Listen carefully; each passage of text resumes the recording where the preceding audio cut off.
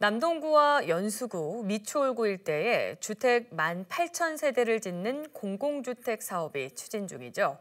이 개발 사업이 본격화되면서 다음 달부터 보상 절차를 시작하는데요. 하지만 벌써부터 일부 토지주들은 헐값 보상을 우려하며 반발하고 있습니다. 이정은 기자의 보도입니다. 정부의 주택 공급 정책으로 추진 중인 9월이 공공주택지구 개발 사업. 사업 면적은 남동구와 연수구, 미추홀구 일대를 합쳐 220만 제곱미터로 주택 1만 8천 세대를 지을 예정입니다. 지난해 10월 국토교통부 지구지정 승인을 받으면서 개발 사업은 본격화됐습니다. 오는 2027년 착공한다는 계획인데 이를 위한 보상 절차도 시작합니다. 사업 시행자인 인천도시공사는 다음 달 기본조사를 앞두고 주민들을 대상으로 보상 설명회를 열었습니다. 토지 보상 절차에 대한 안내가 이뤄졌는데 주민들의 우려는 큽니다. 무엇보다 보상금이 헐값으로 책정되는 것 아니냐며 반발하고 있는 겁니다. 사업비는 총 3조 4,340억 원. 토지주 보상을 감안한다면 터무니없는 사업비라는 주장입니다.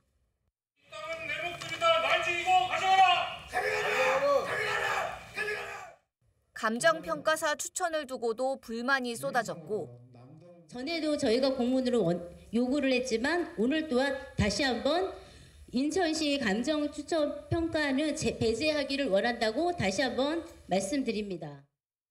각 대책위원회에서 어, 쓰고자 하는 감정평가사분들을 다 모아놓고 설명을 한 다음에 저희가 투표를 통해서 그 감정평가사를 뽑는 그러한 방법을 좀 화해 농가들은 대체 부지 조성을 요구했습니다.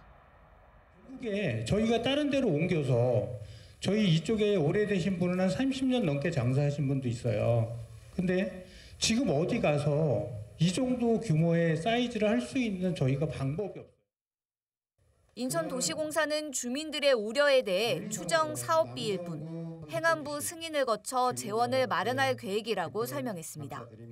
진행에 앞서 추정 사업비로 산정한 내용이고 해당 사업비에 계산돼 있는 용지비도 어떤 감정평가 결과가 결코 아닌 추정 용지비에 불과합니다.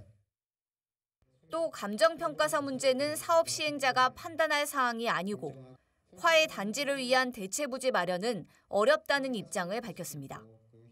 인천도시공사는 다음 달 기본조사를 시작해 내년 하반기 보상 계획을 공고할 예정입니다.